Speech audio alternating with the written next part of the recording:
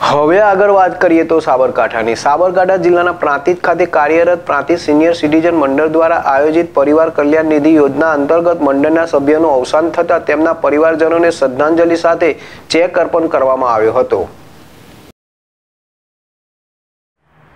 પ્રાંતિજ શહેરમાં કાર્યરત senior citizen મંડળ દ્વારા તાજેતરમાં મંડળના સભ્ય નટવરલાલ વિચનદાસ ડબગરનું માંદગી બાદ દુઃખદ અવસાન થતા આ મંડળ આયોજિત પરિવાર કલ્યાણ નિધિ યોજના અંતર્ગત મૃતકના ઘરે જઈને પરિવારજનોને રૂપિયા અગિયાર હજારનો ચેક અર્પણ કરવામાં આવ્યો હતો. આ પ્રસંગે પ્રાંતિજ સિનિયર સિટીઝન મંડળના મંત્રી ધનજીભાઈ પટેલ, અરવિંદભાઈ રાવલ, મુકુંદભાઈ કસબાતી ભરતભાઈ ચૌહાણ, રસિકભાઈ પટેલ, કંચનબેન સોની સહિત કારોબારી સભ્યો ઉપસ્થિત રહીને મૃતકના પરિવારજનોને સાંત્વના આપીને યોજનામાં જોડાયેલા સભ્યના પરિવારને શોક ઠરાવ સાથે રૂપિયા અગિયાર હજારનો ચેક આપવામાં આવ્યો હતો. જે રાવલ જેડેશ ટીવી, પ્રાંતિજ.